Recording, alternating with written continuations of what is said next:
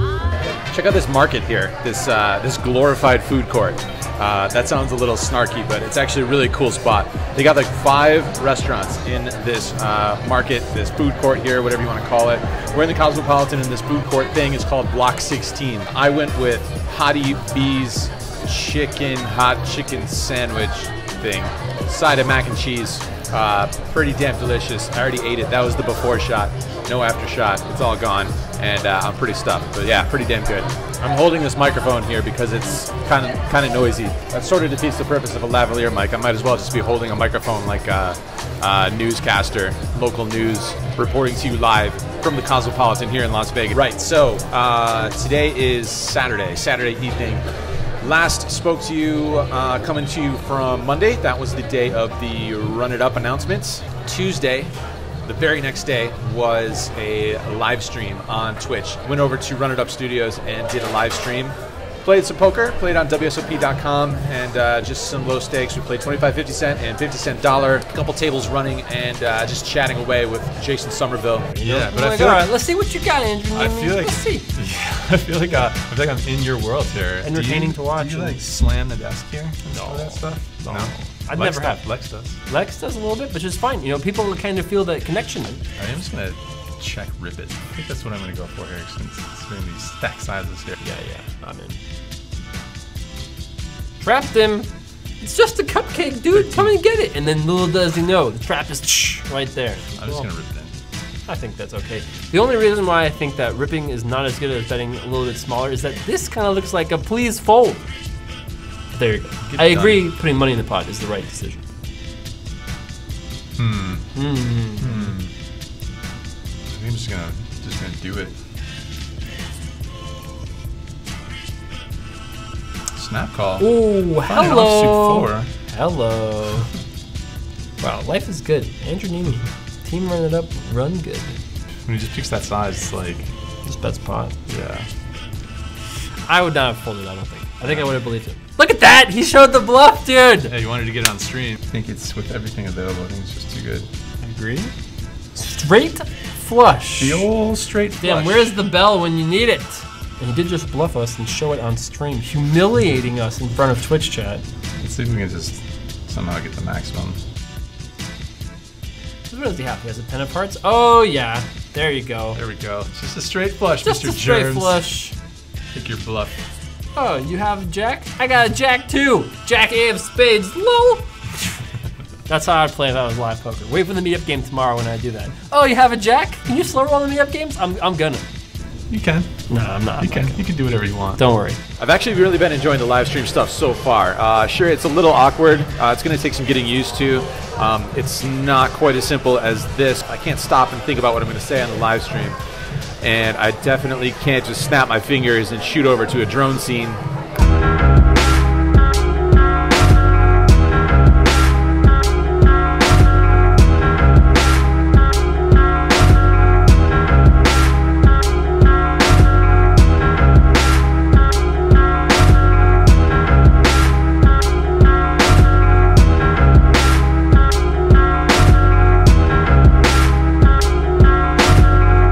Being said, the upsides are that we can actually interact in real time, which is cool. You guys can come over to the channel, ask me anything you want, and uh, any topic, and I'll fire away whatever answers I can come up with.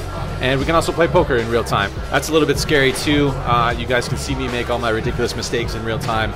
Um, and online poker, not exactly my strong suit either, but whatever. Uh, for now, just gonna play like probably some low stakes, hang out in that like 50 cent dollar range. I figure um, that's sort of a range where most of you guys are gonna be playing your uh, whatever stakes you guys are gonna be playing.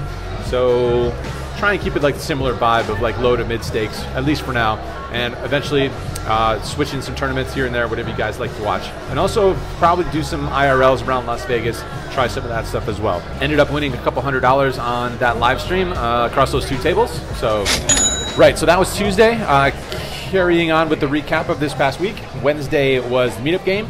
pretty fun night. We put together five tables of 2-5 over at the Westgate. Interesting hand came early on when I looked down at King, Queen of Spades uh, from early middle position. I make it 20 to go.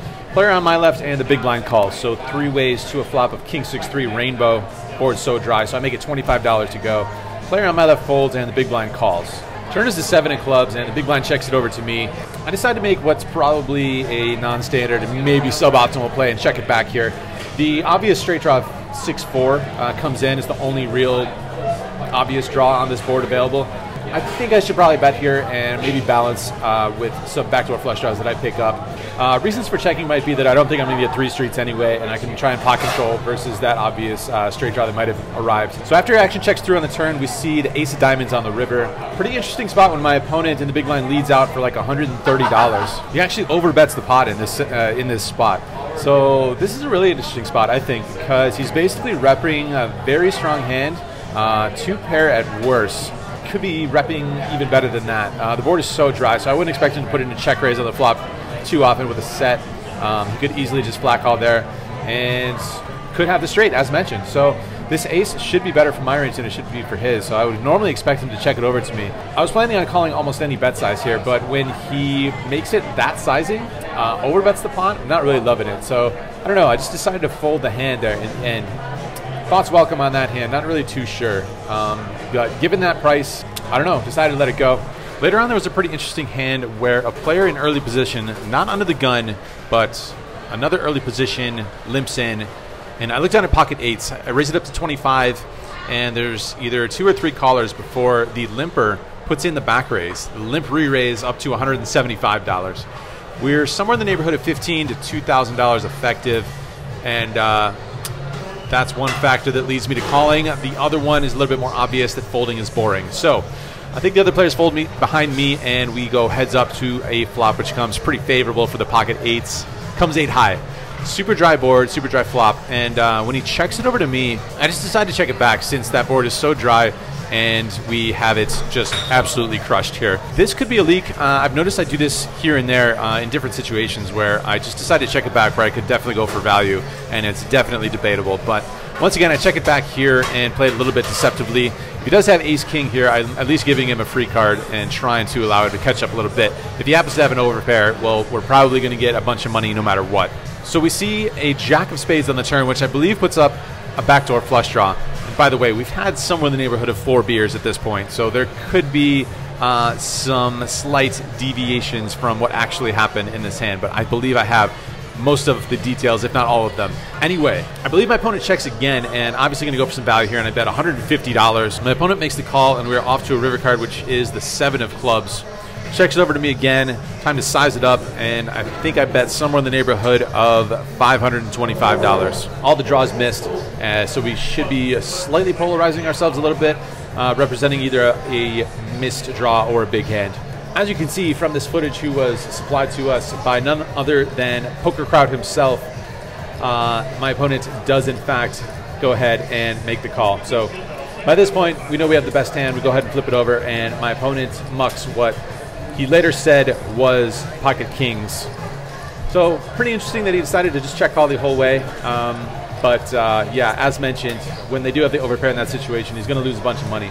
So I don't think checking back on the flop uh, cost us too much, but you never know. Maybe we could have gotten even more. Shout out to Poker Kraut for uh, supplying that footage and for coming to the game. So we found run good uh, all over the place in this session, almost for, throughout the entire session. At the end of the night, uh, almost the end of the night, on my last table, look down at Ace King off suit, make it twenty dollars to go. Uh, player in either the small blind or the big blind raises it up, puts in a three bet to seventy-five dollars, I believe. He's about 500 effective here, so I'm going to put in a four bet and happily stack off, um, being 100 big blinds effective. So I decided a sizing of I think $205. I want to leave some inkling in his mind that might have him thinking that he has some fold equity. With about $300 behind, I could be doing this with uh, you know maybe like uh, ace four suited, ace five suited, something in that range, something in that neighborhood where I can put in the four bet and fold. Don't want to make it look like he doesn't have any fold equity with the money behind. Anyway, he does go ahead and jam it all in there. Uh, I go ahead and snap call and ask if he has a pair. He says no, he does not. I go ahead and show, and uh, it turns out we are up against Ace Queen of Diamonds in really good shape here for another big pot in this 2-5 game. Uh, the flop, however, gives us sweat and brings out two diamonds.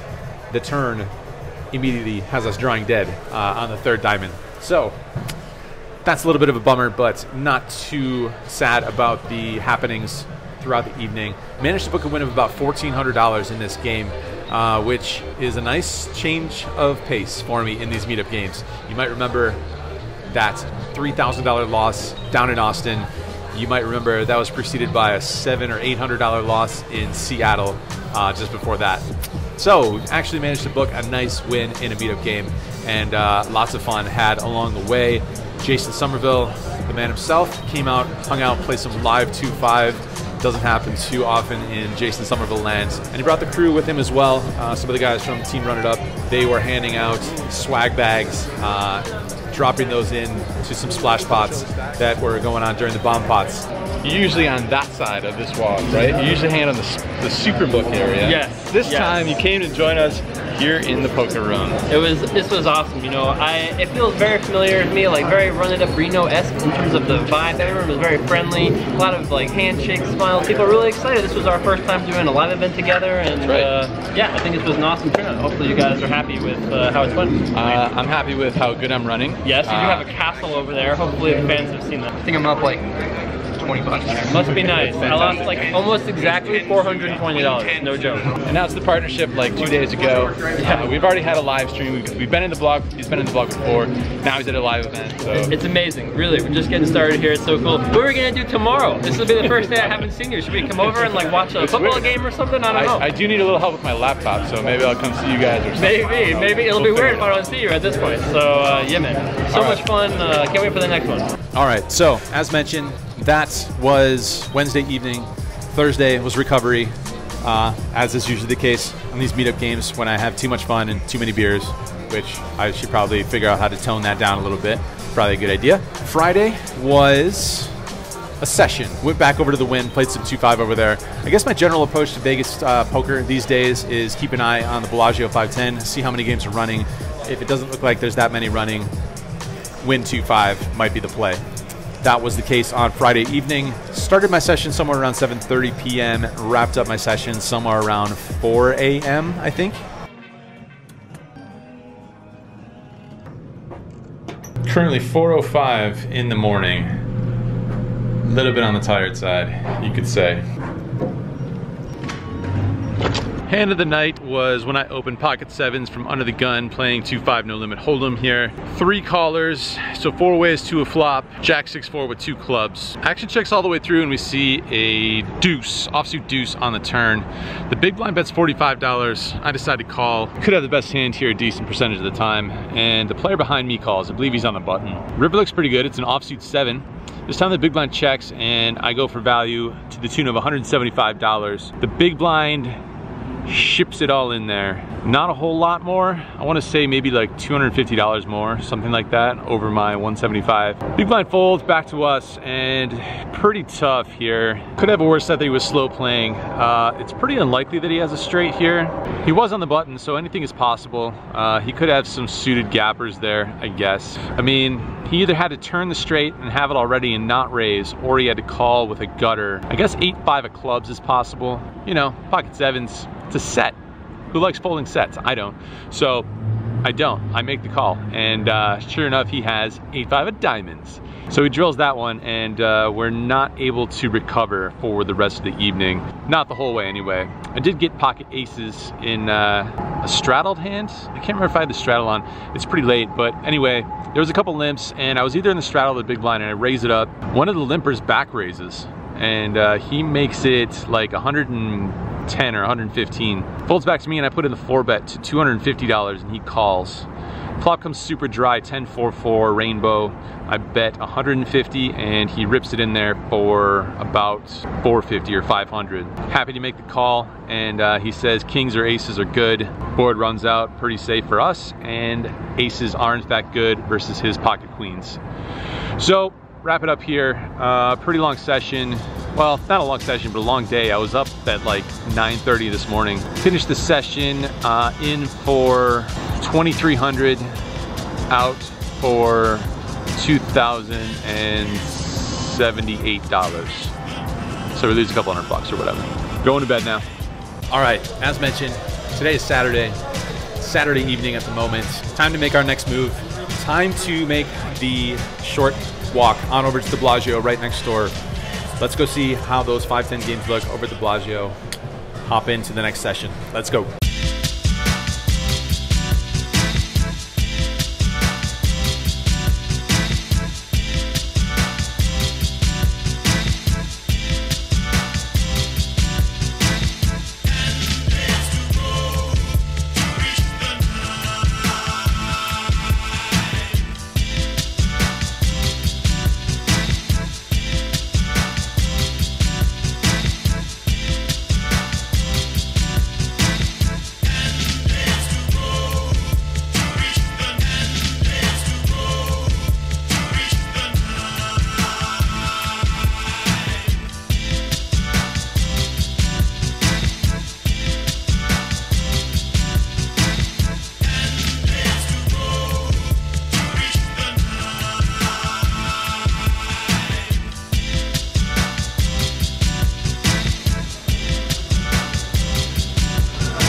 How do we look?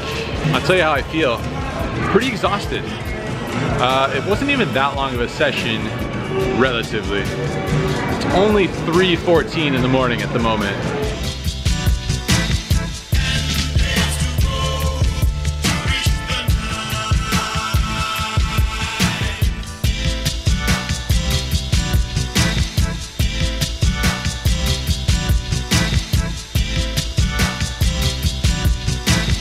So we ended up having a pretty action heavy game over here at the Bellagio on a Saturday evening. Early on we found pocket aces and managed to get three streets of value on King Jack, seven, two clubs, three turn and nine river, 40, 140, 290. So pocket aces hold up there. Pretty shortly after that, the pocket kings do not work out. Raise it up to $30, I believe, pre-flop. Flop comes ace high, but it's all diamonds, and we do have the king of diamonds. The small blind who called us pre-flop checks it. I just check it back. Turn is an offsuit 10. This time he bets $50, and I call. River, I think, is mostly a brick, and he checks it. I check it back. Up against ace 10 of spades in that one. Pretty soon after that is when the real fun started taking place sometimes you're blessed, you know, with a lineup and uh, a player who just likes to have a good time at the table, you know? Playing every single hand, usually blind at least first, coming in for a raise, doesn't really matter what those two cards are. And uh, doing it openly and admittedly, and that was the case tonight. Usually when that happens, you're just gonna have to hold on to those reins, embrace variance, so early on with this dynamic uh, in full effect, there was an under the gun limp and I look down an ace king offsuit. And I make it 40 to go. The aforementioned player calls on the button, limper calls. So three ways to a flop, which comes ace seven six rainbow. Under the gun player checks, I bet $80 and the player on the button jams all in. Under the gun player folds and it's back to us. This is just a snap call, obvious fist pump snap call spot. Yeah, he had been uh, not only playing every hand and doing it blind, but putting in some massive bets and raises and all, all across the board, all things of the sort. I say all that uh, to preface the fact that after the turn and river run out, we are up against it versus 7-6 offsuit. Um, yeah, that doesn't work out for us. We get uh, we get whacked in this hand. Things are going to happen. These things are going to happen for sure in these uh, types of situations, and you just need to reach into that pocket, find a reload, and uh, on to the next hand. That next hand comes with a straddle on, and the aforementioned player in this hand raises it up to $30 which is a legal raise here at the Bellagio. You can go from 20 to 30 when the straddle is on. The player on the button puts in a three bet and he raises it up to 140. We are in the small blind looking down at pocket queens and it's an interesting dynamic because I want to put in a four bet. I obviously want to get some more money into the pot. Um, the player who initially raised it to $30 99% did that blind I'm just gonna take my chances here because I don't wanna just play a small pot. I'm trying to play a big pot, trying to get the money when I can, when I have a good premium hand such as pocket queens. So I put in the four bet. I make it $320 to go, which is a little bit on the small side and probably a little bit too small in my opinion. Um, as mentioned, I don't want to scare away the uh, initial raiser, initial raiser, who probably hadn't looked at his cards yet. Um, but it's probably not going to matter too much anyway, which whichever sizing I choose, as long as I don't go too crazy. Anyway, 320, and sure enough, both the initial raiser and the three better make the call. We're off to a flop three ways, which is coming down pretty favorable for these pocket queens. Queen seven six with two hearts. I think about it for a few seconds and uh, pick up a little bit of a tell from my opponent uh, who is in early position. He looks at his uh, chips. He does a little chip glance. That's kind of a tell. Looks like someone wants to bet uh, when they do that, generally. I don't put a ton of weight into tells, but this one looked pretty reliable. So I decided to check it and my opponent in early position does in fact put in a bet, it's like $500. The player on the button goes ahead and folds. It's only another maybe $500 behind after that 500. So I raise all in and he's uh, not going anywhere. He makes the call. Very likely that he's drawing near dead. I just turn my hand over right away and he says, yep, you got it. And pretty straightforward from there. We're taking this one down, good sized pot. So that makes up for that ace king debacle plus a little bit more and we are well back into the black as a result of that hand. Up about a thousand dollars or so, somewhere in that neighborhood. One more interesting hand from this session uh, towards the end came when I opened up Jack 10, offsuit Jack 10 from, I wanna say the hijack. I believe the button makes the call. Go heads up to a flop in which we flop a gutter on a 9-7 deuce flop. Pretty good flop to see bet here with two overs plus a gutter ball, and uh, my opponent makes the call. Turns a good card for us. It's a jack of spades, which puts a backdoor flush draw on board. I'm gonna go ahead and value bet it now. I bet $90 here on the turn, and once again, my opponent makes the call. River is a queen of spades, which brings in the backdoor flush. This time I decided to check it. I think it's gonna be tough to get value from too much worse. And my opponent puts out a bet of $150. Kind of a weird spot. Uh, not really loving it, but not really knowing what hands he could have here, where he never put in a raise at any point. Um, generally, people tend to put in a raise when there is a flush draw on board and lots of cards could come to sort of change the context of the board. Anyway, we're blocking straights. We are blocking queen jack. Wouldn't expect him to have queen jack. Wouldn't expect him to have a queen on this board at any point. So with the price being somewhat reasonable, I decided to make a call and uh, he shows us pocket deuces. So he played that one well. Unfortunate that we turn uh, top pair, which ends up not improving us whatsoever versus a flop set. Three of a kind is better than a pair. We get into this game for $2,500. Get out of this game for $3,175. According to my math, that's a profit of $675, which tough to complain about.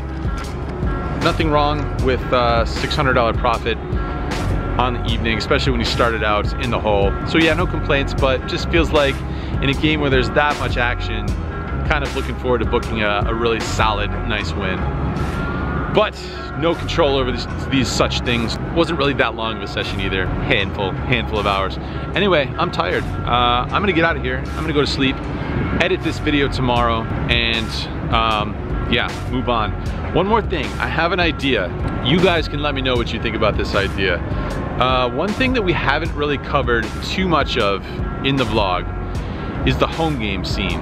I don't think there's that big of a home game scene here in Las Vegas, but I know for a fact there's a big home game scene in Los Angeles and elsewhere, other parts of the country.